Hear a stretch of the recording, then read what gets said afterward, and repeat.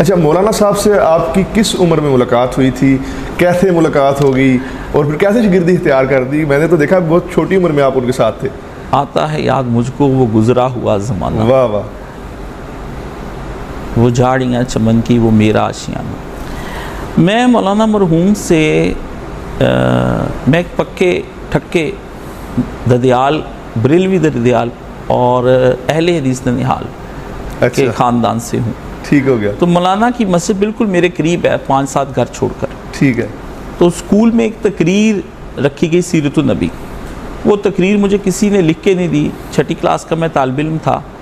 तो मैं अपनी वालदा के कहने पर इस मस्जिद में आया कि उन्होंने कहा इस मस्जिद के मौलाना साहब के पास जाओ शायद वो तुम्हें तकरीर लिख दें तो सर्दियों के दिन थे जमा बैन सलातैन पहली दफ़ा मैंने वहाँ देखी और मौलाना मरहूम अपने हुजरे में थे।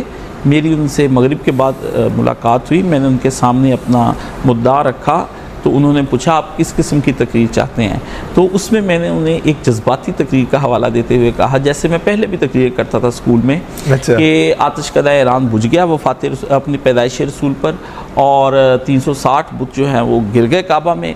और कैसर के जो किंगरे हैं महल के वो गिर गए उन्होंने कुछ देर तो मुझे सुना सुनने के बाद मैंने कहा ऐसी लिखने। तो उन्होंने कहा इसको सीरत रसूल तो नहीं कहते।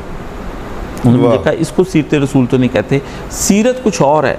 नबी की ज़रूरत कुछ और है। नबी क्यों आता है दुनिया के अंदर? वो आतिश कदा ईरान और ये सब मामला के लिए नहीं आते। नबी की बेसत जो होती है वो अल्लाह ताला की तरफ़ से बहुत बड़ा एक एहसान होती है। और रसूलुल्लाह सल्लल्लाहु अलैहि वसल्लम दुनिया पर अल्लाह का सबसे बड़ा एहसान है। इस नबी के बारे में बात करने से पहले समझो कि पैगंबर की ज़रूरत क्यों हुई? अल्लाह ने क्यों महसूस किया कि इस इस वक्त दुनिया को इस सबसे बड़े एहसान की ज़रूरत है? खुदा ताला के बेशुमार इंसानों पे एहसान है। रिज के हैं, पैदा करने के हैं। लेकिन नबी सलाम की ज़ात आलिया जो है, ये सबसे बड़ा एहसान है। तो उन्होंने कहा, ये सीरत नबी ऐसे नहीं है। तो मैंने स्कूल में जाके अपना नाम कटवा दिया कि मैं ऐसी सीरत नहीं बयान करूँगा जिसके अंदर बेसरोपा रवायात हैं। तो मैं अगले दिन स्कूल से आया और मैंने तीन बजे स्कूल से वापस आया और मैंने घर बस्ता रखा और मैं मौलाना साहब के कदमों में बैठ गया।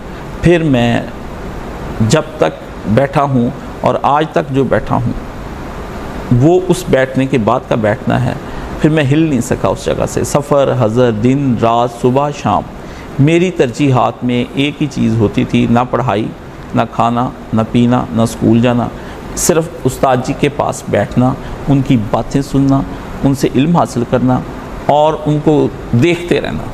ये भी एक मेरे अपने उस्ताद जी से मोहब्बत है कि मैं अपने उस्ताद जी के चेहरे को कई कई घंटों देखता रहता था। वो मुझे इतने अपने उस्ताद पर पुरनूर नज़र आते थे। मुझे ऐसा लगता था कि ये आदमी नबी सलाम के ूम का वारिस है। मुझे इसकी कदर और इज़्ज़त करनी चाहिए। अगर नबी के सहाब ने उसके साथ इतना प्यार किया नबी सलाम की ज़ात आलिया के साथ तो आपके नायबीन के साथ भी हमें मोहब्बत रखनी चाहिए। तो मैं उसके बाद फिर उस उनके उस दर से बहुत उठा नहीं।